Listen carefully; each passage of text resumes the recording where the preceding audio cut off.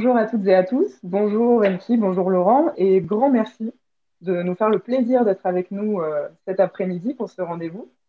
Laurent, euh, vous êtes le, président du Musée national Picasso Paris et vous connaissez très bien le Fonds Hélène et Leclerc pour avoir été euh, commissaire de l'exposition Cabinet curiosité en 2019. Enki, maintenant tu es rompu à l'exercice de ces, de ces discussions. on va échanger cet après-midi autour de la bande dessinée, euh, du travail de, Picasso et des liens euh, qui sont, tirés par, euh, par M. dans son, dans son propre travail. Et je vais donc tout de suite entrer dans le vif du sujet et vous interroger, Laurent, sur la bande dessinée, qui est une de vos passions. quand est née cette passion et quelles sont vos, premières lectures? Comment est-ce que vous entrez dans la bande dessinée? Oh, Aucun souvenir, chère Pauline. Bah, D'abord, merci pour votre invitation. Merci à Madame Battani et puis surtout merci à Enki d'accepter la présence d'un technocrate culturel. Je suis surtout venu pour entendre Enki, en fait. Donc, euh, j'espère que je ne vais pas avoir beaucoup de questions, chère Pauline. Bon, la passion pour la... Voilà, bon, la passion pour la bande dessinée, je pense que ça n'intéressera pas beaucoup euh, d'auditrices et d'auditeurs ce soir. Je peux peut-être dire un petit mot, peut-être d'une anecdote pour lancer un sujet euh, par rapport au monde muséal que je, que je connais peut-être un petit peu mieux et raconter une anecdote par rapport au centre Pompidou vous savez, cette maison où on défend l'art moderne et contemporain et qui se veut une maison large, ouverte à toutes les disciplines. Et il y a de ça une quinzaine d'années, je travaillais en tant que conservateur et à un moment, j'ai eu une idée folle au cours d'une réunion. J'ai dit, mais ne pourrait-on pas commencer à ouvrir la collection à la bande dessinée? Voilà. Et là, j'ai vu 40 de mes collègues me regarder en me demandant si j'avais pas proféré une insulte suprême. Voilà. Alors, on pourrait croire que cette conversation date des années 60-70, mais non, ça date d'il y a 10 ans. Voilà.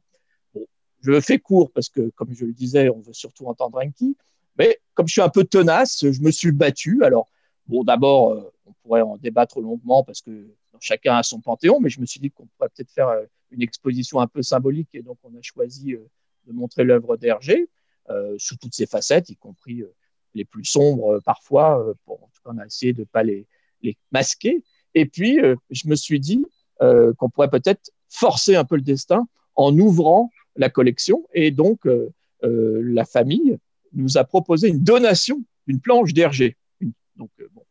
Eh bien, croyez-moi, si vous pouvez l'imaginer, j'ai quasiment une opposition contre la donation. Donc, c'est le président du Centre Pompidou, qui était un grand intinophile, Bruno Racine pour pas le nommer, et amateur de littérature et de bande dessinée d'ailleurs, euh, qui m'a soutenu euh, avec Alfred Pacman, euh, seul contre tous. Et donc, nous avons pu avoir cette planche qui a intégré les collections. Voilà, c'était il y a de ça 15 ans. Et donc, je conclus en vous indiquant que cette œuvre, parce que je considère que c'est une œuvre, un chef-d'œuvre, aurait pu être la première d'une longue série, mais elle est restée seule, isolée dans la collection. Pour la petite histoire, et la toute, toute petite histoire, cette période correspond à un des moments où euh, la valeur sur le marché a pas mal augmenté des planches. J'imagine qu'Enki aura beaucoup de choses à nous dire sur ce sujet. Et notamment, évidemment, six mois plus tard, ça n'a pas raté. Une planche d'Hergé a fait une somme assez importante. Et bien, croyez-moi, euh, ça n'a changé aucunement l'opinion de mes camarades qui pensent toujours, je pense, mais je serais que d'ouvrir à nouveau le débat, que la bande dessinée n'est peut-être pas encore un art digne de dialoguer avec Matisse et Picasso. C'est pour ça que je pense qu'au fond, euh, je ne sais pas si on va beaucoup parler de ce sujet ce soir, mais il y a toujours à se battre. Voilà. Et moi, en tout cas, euh, c'est un petit peu ce que j'avais voulu défendre dans les cabinets de curiosité. Je suis ravi que, l'œuvre d'Enki triomphe et on a hâte de la retrouver lors de la réouverture du fonds. Euh, voilà, je crois qu'une des forces du fonds, bah, c'est justement d'aller montrer les vrais génies, euh, parfois, qui n'ont pas la chance euh, d'être montrés. Dans le cas d'Enki, ce n'est pas son cas parce qu'il est tellement connu et autres, mais euh, avec le regard de Serge Lemoine, il y a là vraiment une odyssée passionnante et où l'œuvre d'Enki est montrée, évidemment pas uniquement dans le, dans le côté bande dessinée, c'est ça je trouve aussi qui est passionnant, et c'est un vrai côté pluridisciplinaire. Donc je serais tenté de le comparer immédiatement à Picasso pour le mettre tout à fait à l'aise, et on en parlera tout à l'heure peut-être avec son livre je fais un peu de pub parce qu'on ne sait jamais, hein, euh, puisqu'il paraît qu'on ne peut plus que lire pendant, le, pendant, pendant, pendant, la, pendant la, la Covid. Pardon, j'ai été un peu long. Non, non, c'est parfait, c'est parfait. Merci, hein, merci, euh, euh, et surtout merci aussi pour le euh, pour cette petite mise en perspective de l'état euh, de la bande dessinée dans le milieu euh, culturel. C'est vrai que vous avez absolument raison, ça continue d'espèces de, défiance.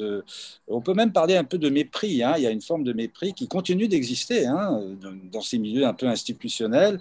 Et moi, je, suis vraiment touché par votre combat parce que vous avez, en plus, vous avez totalement raison. Alors, par élégance, je ne, m'étendrai pas sur euh, sur, sur les personnes qui sont toujours dans cette espèce d'immobilisme. Mais l'immobilisme, c'est pas très joli. Hein. Donc, en fait, c'est peut-être déjà pas élégant de traiter quelqu'un d'immobile. C'est embêtant parce que la vie, la culture, tout ça, c'est fait pour bouger, pour évoluer. Et effectivement, il semble que beaucoup de gens se sont arrêtés à, peut-être un peu des visions un peu poussiéreuses de l'art. Alors, euh, alors effectivement, bah, on est là pour échanger. Je trouve que c'est un très bon, une très bonne introduction. Euh, pour moi, la bande dessinée est un art vivant. Donc c'est un art, c'est un, art d'aujourd'hui, c'est un art, euh, c'est un art qui combine. Alors il est bâtard l'art, mais Picasso, toute l'œuvre de, Picasso est bâtarde. Hein. Il a utilisé toutes sortes d'outils, il est passé de l'un à l'autre, il, a, défriché absolument euh, tout un tas de territoires. Et, la bande dessinée un peu défriche aussi avec euh, le verbe, avec l'image, avec ce côté un peu peut-être factice, mais en même temps qui, finit par produire à la fois du fond, de la narration, de l'imaginaire et euh, comment peut-on aujourd'hui ne pas. Alors, il y a de la très bonne bande dessinée, mais il y a de la très, très mauvaise bande dessinée. Mais il y a de très mauvais peintres, de très mauvais sculpteurs, il y a de très mauvais musiciens. Donc, c'est, en, art, on sait tous que euh, tout est, c'est un champ, le champ est extrêmement vaste. Mais en tout cas, on est, je, suis, ravi qu'on soit au moins déjà deux. Alors, plus évidemment, Pauline euh, et tout, le fond convaincu que que la bande dessinée a sa place dans l'art contemporain et qu'elle en fait réellement partie oh, Je crois qu'on est beaucoup plus, Enki. Je y a un mouvement de fond. Voilà, je pense que, comme on dit parfois, on parle de mouvement à bas bruit ou je ne sais pas, mais je pense qu'aujourd'hui, la bande dessinée n'a plus besoin euh, de serviteurs euh, comme euh, moi ce soir, voilà, parce que vous la défendez au mieux et elle est extraordinairement vivante. Ça, je reviens sur sur ce domaine. Et ce que je crois intéressant aujourd'hui, c'est justement de briser un peu les silos et euh, d'éviter justement de mettre tout dans des cases, sans mauvais jeu de mots. Et pour moi, euh, et pour revenir au Centre Pompidou, je ne serai pas trop long sur ce sujet, mais c'est un lieu qui a défendu toutes les formes de la création. Et dans la collection notamment, euh, qui concerne plutôt la partie de la création industrielle, comme vous le savez, on a dans la collection du centre des masques de plongée, des rasoirs, des sèches-cheveux. Bon, bah, et, à côté des Picasso. Et eh ben, il me semble que si on veut refléter un panorama de la création large, on doit refléter euh, le monde du spectacle vivant, on doit refléter le monde numérique, qui est difficile à collectionner, mais il le faut, et évidemment euh, la bande dessinée, euh, parce que c'est maintenant. D'ailleurs, plutôt que de se plaindre de ne pas avoir les moyens d'acheter tel ou tel grand artiste décédé parce qu'on n'a plus les budgets pour ça, je pense qu'il y a dans le monde de la bande dessinée énormément à faire. Et je pense que les créateurs, d'ailleurs, seraient pas malheureux de toucher un petit chèque. Alors d'ailleurs, Pauline me demandait, euh, elle m'a pas posé la question, mais euh, vous, euh, j'avais un souvenir de votre œuvre, cher Enki, et je me demandais justement, je voulais vous poser la question, j'avais un petit doute, mais je crois me souvenir d'une expo à la Villette qui, avait avait fait un peu référence pour moi. Alors, malheureusement, je n'ai pas retrouvé d'image sur Internet et autres, mais je serais curieux de vous interroger. Je sais pas, je, situe ça au début des années 90. J'ai un petit doute parce que j'ai aussi le souvenir d'une expo, peut-être que je fais une confusion avec la, à la Grande Arche, voilà, donc je ne sais pas s'il y en avait deux ou une, je, serais intéressé peut-être, alors à moins que vous n'ayez pas envie d'en reparler, mais de, si vous voulez vous, dire quelle avait été cette expérience justement d'exposer votre œuvre. Comment est-ce que ça avait été un bon souvenir? Est-ce que ça avait été un succès? Est-ce que, je crois que dans l'esprit de beaucoup, c'est resté un moment euh, un peu de référence. Alors, euh, alors, effectivement, ces deux expos, elles étaient plus ou moins concomitantes, mais alors vous avez, je honte sur moi, mais je me souviens plus très bien notamment de celle de la Villette, mais qui était en fin de compte quand même une, exposition, une espèce de première euh, rétrospective un peu. Euh, j'étais en pleine évolution de, style, de, graphisme. J'avais déjà travaillé avec Pierre Christin sur des albums. J'ai commencé à travailler seul. J'avais fait mon premier film aussi, hein, qui était sorti, euh, Bunker Palace Hotel en 89. Donc c'était un peu un début de, voilà, de première. C'est une première exposition, on va dire, un peu officielle je garde un très bon souvenir, mais finalement très, très, très flou. Euh, je me souviens davantage de l'exposition euh, de l'Arche de la Défense à l'époque, malheureusement, il n'est plus là. Euh, et nous avons fait un concept hein, qui mêlait à la fois de l'écrit. Alors, j'avais demandé à des écrivains, des amis écrivains proches. Alors, il y avait Dan Franck, il y avait Pascal Bruckner, il y avait Florence Delay, il y avait Yves, Simon, il y avait.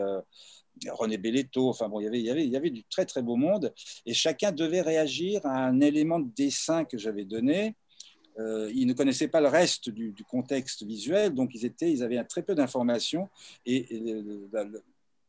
l'exposition dans la Grande Arche, donc sous la Grande Arche, donc c'était vraiment en plein air, c'était des panneaux de 4 mètres par, par 5 qui étaient gigantesques, avec des textes reproduits. Et cette exposition donc, euh, euh, donnait à voir à la fois des images sur un concept de voyage imaginaire euh, par train, par avion, par bateau. Enfin, c'était les moyens de transport et les lieux de transit où les gens se croisent. Et donc, ces textes d'écrivains venaient raconter des intimités, des, histoires intimes entre des personnages apocryphes. Voilà. Euh, je me souviens notamment de la, du vernissage. C'était sans doute le vernissage le plus fou que j'ai jamais eu parce qu'il faisait moins 10, moins 12 même carrément. Je me souviens très bien, il faisait très très froid. On était tous emmitouflé, il y avait des braseros, parce en plein air, et puis en plus la Grande Arche, quand on connaît la Grande Arche, c'est étendu à perte de vue, il y a, évidemment il y a des bâtiments pour empêcher le, vent de souffler, mais c'est quand même des, des, étendues assez gigantesques. Et euh, à, la fin du vernissage, on a vu approcher on, se serait cru dans, dans, un film de zombies, on a vu approcher des silhouettes étranges comme ça, qui approchaient, approchaient, approchaient. Et c'était des, des, pauvres SDF qui, qui attirés par, le, par, les, euh, par les braseros, sont arrivés et en fait, ils ont fini par manger avec nous. Et c'était un moment assez, assez, assez, assez, terrible et assez émouvant.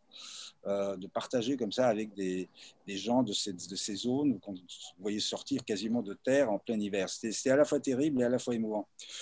Voilà en gros pour, pour expliquer. Oui, Pampan. Bah, bah je trouve ça assez magique parce que c'était il y a 30 ans, mais c'était hier au fond. Je pense que vous avez révolutionné le, le domaine justement de l'exposition de la bande dessinée avec ces deux jalons hein, très importants. Euh, et l'anecdote triste et mélancolique que vous nous racontez sur la fin, on oublie souvent que derrière la Grande Arche, pendant longtemps, je parle de la suite de l'Axe, il y avait là des, euh, des taudis, euh, avant même de parler des, des aventures de migrants aujourd'hui. Hein, voilà, Nanterre. voilà. On appelait ça les petits vieux de Nanterre aussi. Parce Bien que sûr. je suis arrivé à, de Belgrade à Paris, je me suis installé, mon, mon père nous attendait à la Garenne-Colombe. Donc, c'est la banlieue toute, mm. toute proche de Nanterre. Donc, en fait, c'était un, petit peu ma, zone euh, d'adolescence. Euh, et, mais en, même temps, c'est marrant parce que c'est vrai que cette exposition de, euh, montre à quel point j'avais déjà envie finalement de créer des liens donc d'inviter comme ça des écrivains euh, mêlé, de dessins. J'ai toujours trouvé que ça fonctionnait très très bien. Et finalement, ça nous ramène aujourd'hui finalement aussi à cette, à cette collection euh, chez Stock, hein, parce que finalement, voilà, l'interaction entre l'écrit et l'image continue d'exister. Et je pense que c'est un champ qui est, qui est, euh, qu'il faut continuer à, explorer. Mais euh, juste un mot sur quand on, on, reviendra pas là-dessus sur ce, sur les pistes froids qui, qui, veulent pas voir dans la bande dessinée quand même que, que cette c'est un art. Qu'est-ce qu'ils diraient Qu'est-ce qu'ils disent ces gens-là, de, par exemple, de, euh, des peintures rupestres de, la grotte de Lascaux? Ils disent que c'est quoi Que c'est des petits crobards ridicules, euh, qu'on ne raconte rien. J'aimerais bien savoir un peu quel est leur fond de pensée. Je, je, ne leur ai pas posé la, je leur pas, je pas posé la question. Je pense que l'institution heureusement, ne peut pas se résumer voilà, à une voix monolithique. Ce que, ce que je pourrais raconter peut-être comme petite anecdote qui, qui j'espère, euh, cher Pauline, ne déviera pas trop de notre projet, mais, mais, mais pour dire que c'est une longue histoire, euh, ce, ce, relatif aveuglement. Je prends un artiste au hasard, mais qui nous occupe un petit peu ce soir. Excusez-moi, Enki, ce n'est pas vous. Euh, c'est Picasso. et ben Picasso, la première œuvre à être acquise par l'État en France, c'est en 1933. Pour mémoire, l'artiste est né en 1881 donc à l'âge de 52 ans. Et cette œuvre était datée de 1901. Voilà, donc il a fallu 32 ans pour qu'on repère cette œuvre et 51 ans pour qu'on achète la première œuvre de Picasso. Donc voilà, je crois que euh, on n'a aucune leçon à donner, mais on doit toujours avoir euh, en mémoire ces moments pour dire qu'au fond, je crois que le regard institutionnel sur l'art est très difficile parce que c'est souvent un regard euh, médian, si je puis me permettre l'expression. C'est un regard euh, où il faut accorder des avis divergents. Et euh, ce n'est pas un hasard si beaucoup des grandes collections euh, qui aujourd'hui sont dans les musées sont pas le fruit d'un regard d'une commission, mais le fruit d'un regard unique, c'est-à-dire d'un collectionneur qui a su, avant tout le monde, repérer. Voilà. Et donc, je crois que ça, il euh, faut toujours le garder en mémoire parce qu'on l'oublie. voilà, on, on, pense que les trains passent, mais non, en fait, aujourd'hui, euh, comme hier, euh, peut-être qu'au bout de la rue, je ne crois pas forcément au Mozart oublié, mais on n'est pas assez attentif. Voilà, on, on, oublie parfois et on peut se laisser porter par le marché comme par autre chose. voilà, mais je pense qu'on a fait beaucoup de progrès. là, je ne parle pas forcément des institutions en France. Je pense que globalement, on à un tournant et la jeune génération, je ne vais pas faire évidemment, je ne risquerai aucune futurologie ce soir, mais, je pense va nous, va nous complètement nous bousculer parce que de toute façon, elle a un rapport au musée différent aussi. Et, les outils vont changer aussi beaucoup. Hein euh, oui. Les outils, euh, déjà la vidéo arrive, euh, des nouvelles technologies vont apporter un nouveau regard sur tout ça. Donc ça va. Je pense que ce n'est pas le sujet d'aujourd'hui, hein, mais beaucoup de choses vont changer et très très vite, notamment après cette parenthèse sanitaire là, qui nous met en apnée tous la planète entière. C'est ce qui est, ce qui est en fait un, un cas sans précédent, évidemment. La remarque oui, la remarque de, Laurent euh, sur sa rencontre avec euh, ton travail, MC, et puis les, deux expositions que vous avez abordées tous les deux, ça me, permet de, te relancer, toi, MC, sur ta découverte de l'œuvre de Picasso. Est-ce que tu te rappelles de la première œuvre que tu as vue euh, Quand est-ce que tu l'as vue? Qu'est-ce qui t'a interpellé à ce moment-là dans son travail? Alors, je me, je me rappelle, mais avant, avant de, de, croiser, de rencontrer, de voir une, œuvre en vrai de Picasso, j'avais quand même, évidemment, moi j'étais gamin, je dessinais sur mes genoux euh, dans, chez, moi, dans mon petit coin, et, euh, et je voyais, évidemment, j'entendais parler de Picasso, c'était une grande star, hein, évidemment, déjà. Moi, j'étais dans les années, on va dire, 60, hein, je suis arrivé en 60 en France à Belgrade, j'avais pas, je connaissais pas, j'étais trop petit. Donc je découvre un peu, je m'intéresse déjà au dessin, et je, Picasso. Picasso, c'est le grand peintre euh, mondialement connu et reconnu. Donc, je vois ces, je vois ces dessins publiés comme ça, euh, et je me dis, mais comment se fait-il? C'est la plus grande des stars, et il dessine, il dessine moins bien que moi. Ben, moi, je commençais à faire des trucs euh, réalistes, assez chiadés, etc. je me disais, il dessine moins bien que moi. Puis après, j'ai vu qu'il avait déjà dessiné des choses réalistes, donc des là, c'est pas mal, c'est pas mal. Mais en tout cas, bon, mon, premier contact, c'était ça, c'était de me dire, mais qu'est-ce que c'est que ce peintre? On dit qu'il c'est extraordinaire, et en fait, c'est un truc pour, pour Et puis évidemment, euh, après, j'ai commencé, j'ai grandi, j'ai évolué, j'ai compris plein de choses. Évidemment, la presse, c'était bah, une forme de fascination parce que c'est. Euh, alors, il y a à la fois de la liberté, il y a de l'audace, il y a.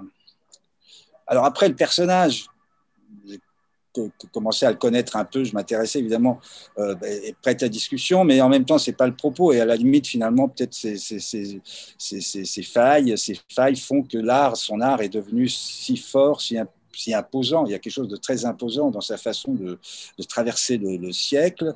Euh, il est à cheval sur deux siècles, effectivement. Hein.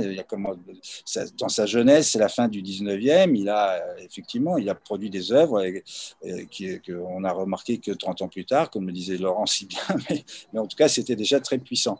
Donc voilà, un, ça reste une espèce de comment dire de phare alors après, j'aime pas tout, et en même temps, je suis admiratif de tout. Voilà, parce que derrière ça, il y a la liberté, l'audace, et pour moi, l'art, c'est surtout ça. Alors, il, voilà.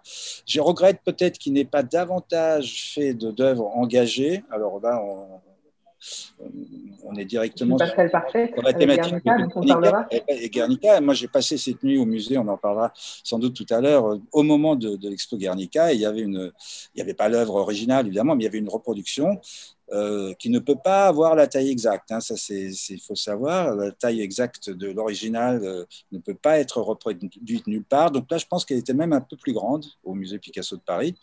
Et, puis, il y avait tout le contexte. Et donc, ce contexte très chargé, historique et politique de, de ces années 30. Donc, après, je me suis dit, voilà, c'est peut-être dommage qu'il n'ait pas eu davantage d'incursions comme ça, d'engagement euh, politique. Alors, je Laurent me, dira s'il y a eu, y a eu d'autres, d'autres œuvres, mais je, enfin, en tout cas, celle-là, c'est une commande, mais qu'il a, qu'il a rendue ô, combien importante, imposante, et surtout sur un thème.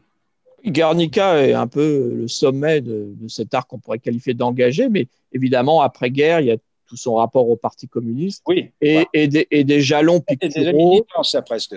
Voilà, euh, comme le charnier en 1945, qu'on oublie souvent, mais, mais, qui est conservé actuellement au musée d'art moderne à New York, qui est vraiment une sorte de réponse de Guernica euh, huit ans plus tard, avec tout ce rapport évidemment aux images de l'Holocauste euh, qu'il avait découvert un peu comme les images du bombardement de Guernica. Et puis il y a une œuvre peut-être moins connue qu'il pensait être euh, le Guernica de l'après-guerre. Et au fond, c'est intéressant de voir qu'il s'est peut-être trompé, qui est Massacre en Corée, qui est une œuvre qui date des années 50, qui est donc, comme son nom l'indique, un témoignage de l'artiste, cette fois-ci avec une, variation chromatique évidemment beaucoup plus large que le seul noir et blanc et gris, euh, même si c'est dans moult nuances euh, du chef-d'œuvre bien connu euh, conservé aujourd'hui à Madrid. mais Massacre en Corée était pour l'artiste vraiment sa réponse à ce conflit de la guerre froide et ça n'a pas eu le succès escompté lorsque l'œuvre a été finie. Ce qui est intéressant, c'est qu'aujourd'hui, 60 ans plus tard, cette œuvre qui est, maintenant dans les collections du musée, euh, Picasso à Paris, euh, est une des œuvres les plus demandées euh, en prêt. Voilà. Et elle est. voilà. Donc, ça, c'est assez intéressant par rapport à ce qu'on disait tout à l'heure du rapport de l'État à Picasso. Mais il y a aussi un phénomène, je pense, Enki peut peut-être en parler par rapport à, à d'autres artistes qui, qui l'aiment bien et peut-être qui n'ont pas justement cette reconnaissance, ou par rapport à son œuvre lui-même, ou peut-être il y a des périodes ou des moments qui n'ont pas forcément eu euh, le même rapport à la critique esthétique. Mais euh, je prends juste l'exemple du dernier Picasso, pour le dire vite, les 15 dernières années. Là, on ne parle pas de l'État, on parle vraiment de ses amis proches. Euh, pensons au collectionneur Douglas Cooper, qui était vraiment un ami intime, qu'il avait soutenu pendant toute la période cubiste. Il regarde les tableaux et il dit Pablo, tu ne sais plus peindre. Voilà, ça c'est assez intéressant. C'est-à-dire que et il a fallu attendre dix ans après sa mort euh, pour que le dernier Picasso soit revu, revisité et aujourd'hui euh, considéré comme euh, un feu d'artifice final, euh, et pour reprendre les mots d'Enki il y a quelques minutes, vraiment une liberté incroyable alors qu'il avait plus de 80 ans et, qu'il n'avait plus rien à prouver. Parce que je crois que ça, c'est intéressant aussi par rapport à Picasso, c'est que c'est un artiste qui a, dès les années 20, plus de problèmes de fin de mois, et il a décidé de continuer. Il avait un secrétaire, mais jamais aucun assistant. Et il a continué toute sa vie à créer, euh, avec toujours l'idée de la métamorphose permanente, ce qui fait qu'on estime aujourd'hui son corpus à environ 50 000 œuvres, ce qui fait environ deux ou trois par jour. Et donc, il y a cette folie. Quoi. Euh, et ça, je crois que c'est vraiment, ça restera comme un cas assez unique au monde. C'est l'inverse. J'ai un point, j'ai un point commun avec, j'ai un point commun avec euh, Picasso, c'est que je n'ai pas d'assistant et je n'ai pas de secrétariat non plus. Donc je, bah, Enki, je pense, que, je pense que vous avez plus d'un point commun avec Picasso, si, si je puis me permettre. Il y, a le côté, il, y a, il y a le côté, je pense aussi, alors j'aime pas forcément toujours cet adjectif, mais pluridisciplinaire, c'est-à-dire ce côté de tenter le passage entre divers mondes. On parlait tout à l'heure du rapport entre la littérature et votre œuvre, mais le souhait euh, de ne pas rester cantonné justement dans le monde de la bande dessinée que vous maîtrisez à la perfection. Je trouve le cinéma, la peinture, et ainsi de suite. Enfin, il y a, va y aborder. Et puis évidemment, je refais un peu de pub euh, des fois que quelques, euh, quelques personnes veulent acheter euh, l'ouvrage d'Enki. Alors, je, voudrais revenir un peu un, court moment sur l'histoire. Vous évoquiez l'histoire politique, hein, ce rapport avec le Parti communiste. Il y a, ce portrait, c'est extraordinaire, parce que moi, dans le livre, de, dans le petit livre que j'ai écrit sur la nuit avec Picasso, nu avec Picasso, j'ai fait le portrait d'Hitler, ce qu'il n'avait jamais fait. Hein, euh, Picasso n'avait jamais dessiné Hitler. Et comme quand même Picasso, euh, euh, le sujet de Guernica, c'est quand même les bombardements alors de Mussolini, de, effectivement, de, de, Franco et de Hitler sur, sur Guernica. Je, me suis dit, voilà, je vais le mettre dans le, dans, dans, le livre. Et, après, j'ai regretté lorsque le livre était sorti. Je me suis dit, mais je suis très, très, très, très, très, très, très bête. Finalement, j'aurais dû faire un portrait de Staline aussi. donc, j'ai fait un portrait de Staline après en dehors du livre. Et j'ai appris qu'en fait, il en avait fait un de portrait de Staline. Donc, c'est cette histoire qui est assez incroyable. Euh, alors, ça, c'est Hitler. Voilà, j'illustre, j'illustre le propos. Je, je, fais je, reviens au, je, reviens aux bases du PowerPoint. Hein. Exactement. Merci Laurent. Et c'était à la manière de, hein, vraiment à la manière de Picasso. Et donc il y a ce portrait de, de, Staline qu'il a fait, euh, commandé par, par du Parti communiste français à la mort de, Staline. Donc on est en 53. Et le Parti communiste veut rendre hommage au grand homme qui a été Staline. ça, ça se discute évidemment.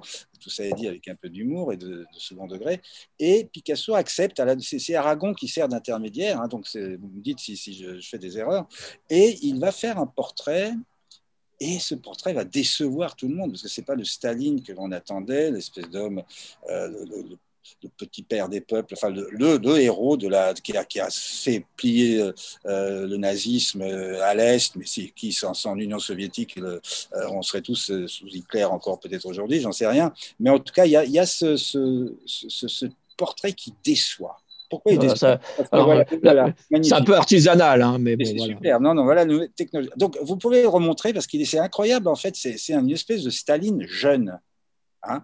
Donc, très jeune. Et finalement, ça déplaît au Parti communiste et à Aragon. Voilà, en couverture du journal. La lettre française, voilà, c'est ça. Et alors, euh, et en fait, est-ce qu'on est sait pourquoi il a fait ce portrait? Pourquoi il a Alors, il a fait, il a fait ce portrait. Et il a choisi cette époque de, de Staline, ce jeune. Enki, vous avez tout à fait bien résumé. Et ce que vous n'avez pas dit, c'est qu'au fond, euh, bah, ça a touché au cœur tout le débat sur le néo-réalisme. C'est-à-dire qu'en face, il y avait toute la propagande communiste qui attendait euh, un portrait, au fond, néo-réaliste, réaliste, voilà, quelque chose qui. Et donc, lui, justement, a fait cette ambiguïté un peu j'allais dire comme un contrepoint euh, de son autoportrait en 1901, je parle de l'autoportrait de Picasso, euh, bleu, où vous savez, il arrive à Paris, il a 20 ans, et il se peint comme cette fois-ci quelqu'un qui a plutôt 40 ou 50 ans. Voilà. Et je trouve que ça, c'est, il a voulu faire bouger les lignes. C'est-à-dire que je pense qu'il voulait pas qu'on l'enferme dans une case où justement on pouvait peut-être l'accuser euh, de servir la soupe ou je ne sais quoi. voilà. Alors il y a une fin de l'histoire qui, qui, est peu connue, que, que je livre à nos amis ce soir, euh, c'est que ce dessin, alors que Picasso gardait tout, on ne l'a jamais retrouvé lors de l'inventaire après sa mort. Ah, Et donc, euh, il y a plein d'hypothèses euh, qui circulent sur le destin de ce, portrait. Voilà, mais il n'existe que sous une forme reproduite, c'est-à-dire en fait la reproduction de la première page du, journal que je viens de vous montrer. En fait, c'est le pouvoir de Staline post-mortem. Il a réussi à éliminer cette preuve dégradante de son Voilà, voilà. Et comme l'histoire de l'art est parfois surprenante, il est peut-être pas impossible qu'un jour quelqu'un retrouve euh, ce dessin. Euh, voilà. En tout cas, moi, j'ai fait un portrait de Staline euh, lors d'une émission chez François Bunel. Donc, François Bunel a le dessin. Donc, il pourra témoigner que Staline a été dessiné à la manière de Picasso par, par quelqu'un. On a déjà évoqué plusieurs fois, et Laurent en a fait la promotion euh, de manière brillante, de, ton livre, Anki, euh, Nu avec Picasso. Euh, nu avec Picasso, ça s'inscrit donc dans une collection qui s'appelle Manu au musée, qui est une collection chez Stock et qui est une collection en collaboration avec le musée Picasso. Laurent, est-ce que vous pouvez en quelques mots nous expliquer un petit peu la, genèse de cette collection Oui, alors vraiment en quelques mots, chère Pauline, parce que je crois qu'on a tous envie d'écouter Enki nous raconter sa nuit. Hein. C'est parti d'un constat tout simple. Euh, c'est que on a la chance euh, dans nos métiers, euh, voilà, je veux dire tous les jours où je vais au musée, voilà, on se dit que c'est quand même un métier qui pour certains d'ailleurs n'est pas un métier, mais être au service de l'œuvre d'un maître et peut-être qu'on pourra en parler tout à l'heure. Enfin, je fais une toute petite digression qu'il faut savoir aussi mettre en débat, hein, parce que je crois que Picasso aujourd'hui nous pose des questions par rapport à plein d'actualités sur le rapport de la vie et de l'œuvre. mais bon, pour en revenir au musée, euh, en général, il est ouvert pendant la journée. Quelques collègues euh, dans le monde, et notamment en France, font parfois des nocturnes.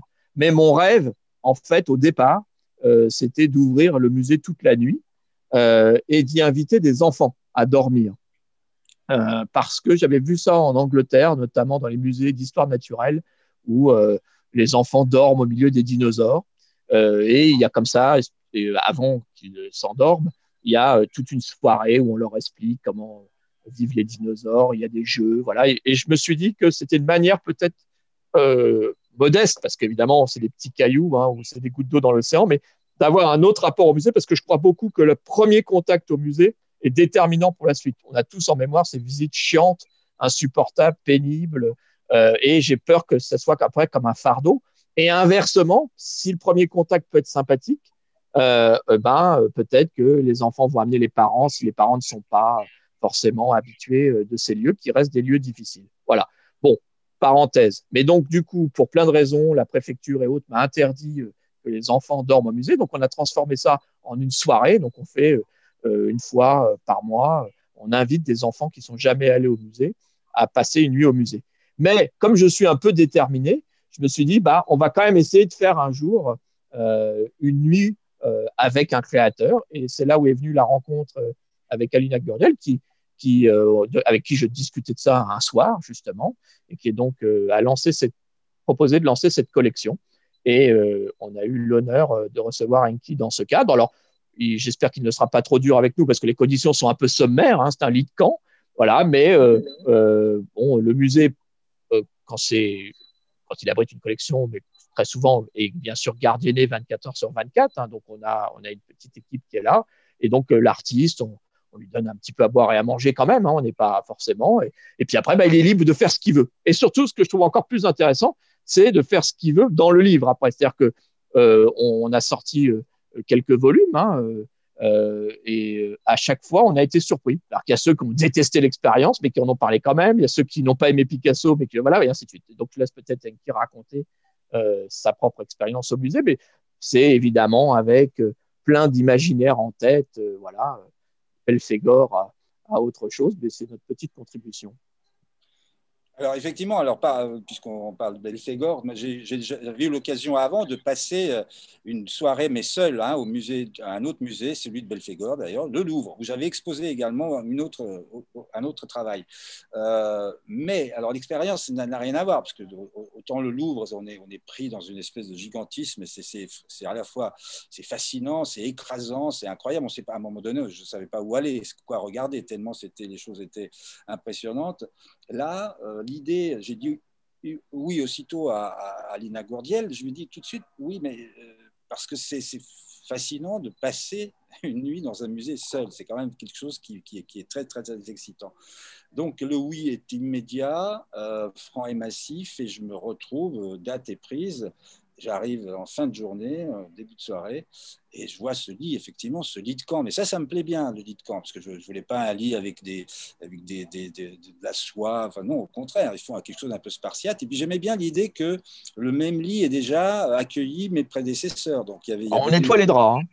Non, il n'y avait pas de drap. Moi, il n'y avait pas de drap. Ah bon, bah zut, alors. Non, on m'avait dit pour Enki, ranger les draps en soie. Oui, c'est vrai, pardon. Je ne suis pas venu avec mon pyjama non plus. Donc, euh, donc non, ce je, trouvais ça, il y avait un côté un peu, on se passait quelque chose. Il y avait un côté témoin, course, course à relais, en relais comme ça. Et je l'ai vu tout de suite, d'ailleurs, ce mur, le, lit était contre un mur, un très beau mur, parce que le musée est magnifique. Hein. Et, là, je me suis dit, mais un lit de camp et il y a un mur à côté, mais il faut, il faut graver dedans. Je vais être prisonnier pendant une nuit, donc je vais graver des trucs dans le mur. Et c'est comme ça que cette idée est restée dans le livre, parce qu'à un moment donné, il y a. Bon.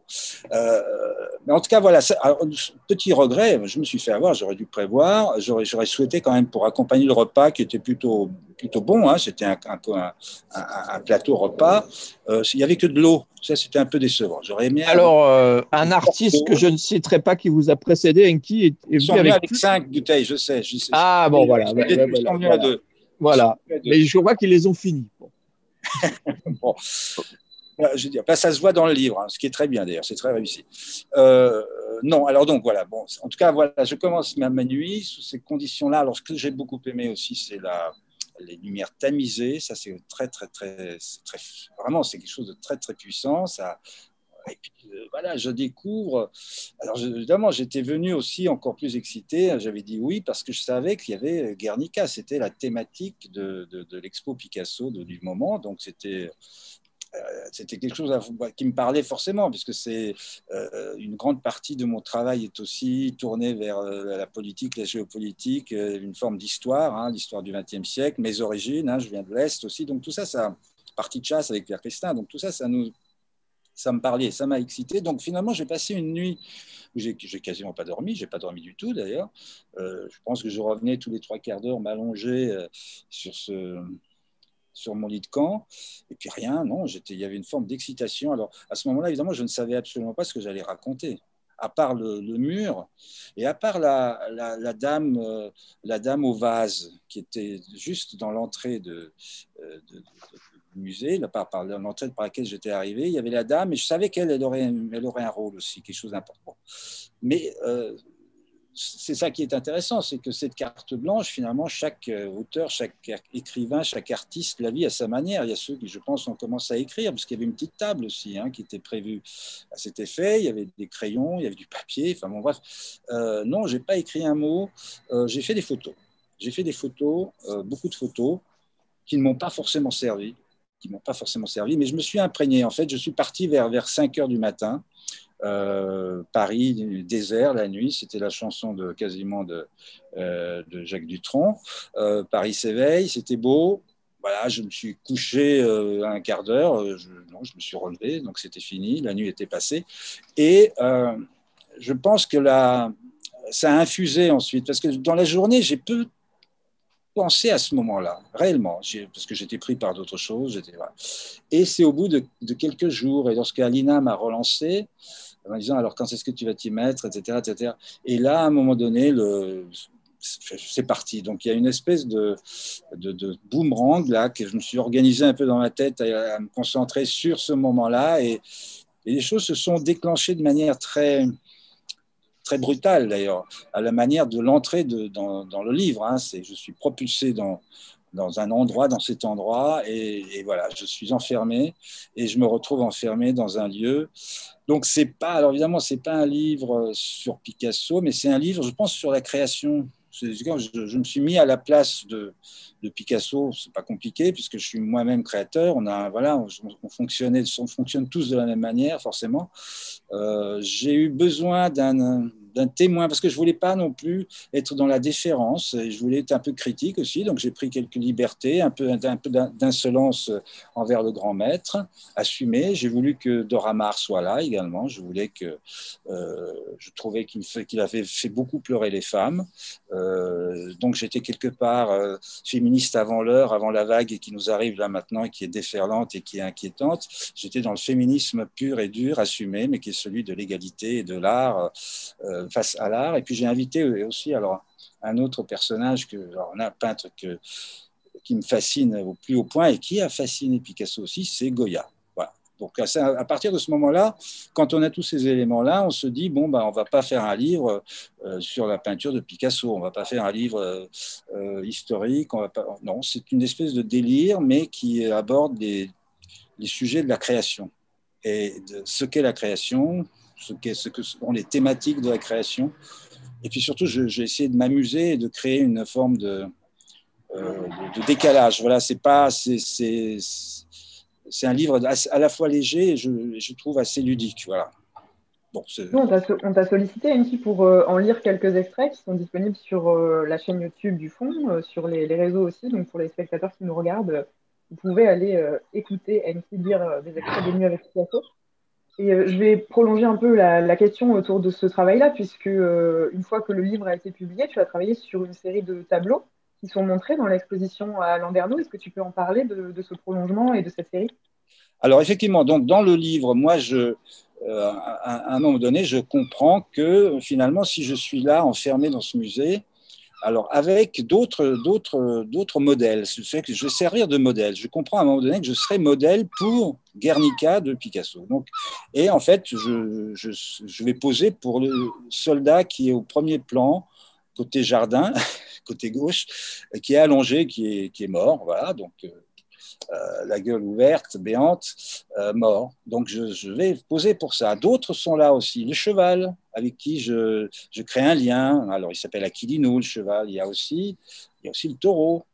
Et tous ces-là, évidemment, sont dans le tableau. Et puis, il y a des femmes. Cette femme qui, qui tient son, bébé par les, pieds, euh, qui pleure, cette femme qui se jette d'un, d'un balcon. Donc, elles, là, sont aussi là pour poser, pour poser pour le grand maître.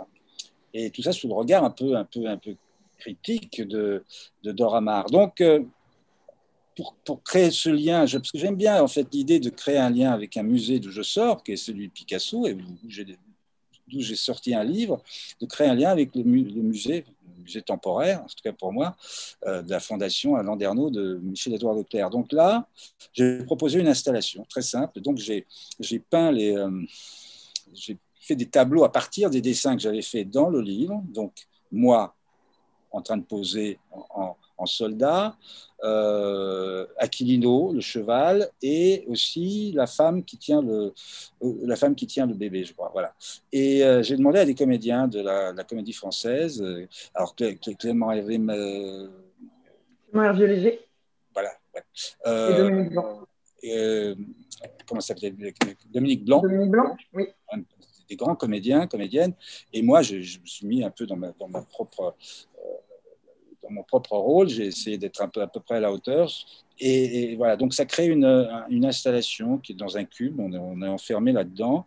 On est face au tableau. Et quand on est face à un tableau, on a une douche sonore c'est très très très très pointu, euh, qui qui, lit, enfin qui dit l'expérience euh, de modèle pour le tableau de Picasso. Alors il y a des gens qui vont croire que c'était vrai, que Picasso a fait poser des gens, c'est faux. Hein. Picasso n'a fait poser personne, sauf si Laurent me contredit.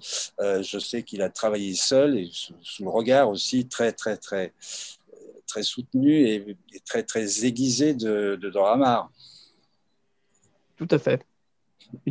Donc, du coup, cette installation-là, elle sera euh, à retrouver à Landerneau dès que le fonds pourra réouvrir ses portes. Et donc, ça me fait une transition toute trouvée pour cette fin de discussion. Euh, Laurent, qu'est-ce qu'on pourra venir voir à la réouverture du musée Picasso? Bah, Ce n'est pas le duo Enki-Guernica, c'est un autre duo. C'est un duo peut-être un petit peu surprenant. Euh, c'est le duo Picasso-Rodin. Voilà. aussi étrange que cela puisse paraître, il y a beaucoup de liens entre ces deux artistes, notamment Rodin a été découvert par Picasso lors de son premier voyage à Paris en 1900. Il y a un petit lien avec notre conversation de ce soir. Euh, pour l'exposition universelle de 1900, Picasso euh, a eu euh, un tableau exposé dans l'expo entre guillemets classique, hein, une grande expo reflétant les diverses tendances de, l'art du moment. Euh, ça lui est pas toujours arrivé. Hein. Pour mémoire, par exemple, il a été très peu montré à la Biennale de Venise. Euh, mais euh, Rodin n'a pas souhaité être dans cette exposition officielle. Et donc, il a créé son propre pavillon, qu'on a appelé le pavillon de l'Alma, euh, qui se trouve au bout de l'actuelle avenue Montaigne à Paris, sur ce terre-plein. Et il a là exposé son œuvre comme il l'a souhaité, une forêt de plâtre blanc. Et Picasso a vu cette expo, puisqu'on en a des dessins. Voilà. Et c'est le début de l'histoire. Et j'invite euh, celles et ceux qui nous regardent et nous écoutent ce soir à venir découvrir la suite euh, pour une première, parce que c'est euh, à Paris, nous nous sommes associés avec le musée Rodin, donc l'expo est en, deux lieux. Voilà, donc on pourra aller au musée Rodin et au musée Picasso, puisque c'est aussi un peu ce qui nous unit, puisque ce sont deux musées monographiques dans des bâtiments historiques. Voilà, c'était le choix de Rodin d'un côté, c'est le hasard de l'histoire pour Picasso, mais voilà, il y a comme ça un, petit lien aussi euh, quant aux destinées architecturales euh, du musée qui abrite l'œuvre de ces deux génies. Très bien. Ben, merci beaucoup. merci Laurent. Merci Enki. Cette conversation touche maintenant à sa fin. Oui, c'était passionnant de vous écouter tous les deux sur, sur ces sujets, sur ces rapprochements entre le travail de Picasso, la bande dessinée et puis ce que tu produis, Enki. Donc, je vous remercie encore. Je remercie tous les spectateurs de nous avoir suivis sur Facebook et Instagram. Et je vous dis à très bientôt. Merci beaucoup. Merci à vous. Merci Laurent, merci, à très vite. Merci, à bientôt. Bonne fin de journée. Au revoir. Voilà. Alors n'oubliez pas que...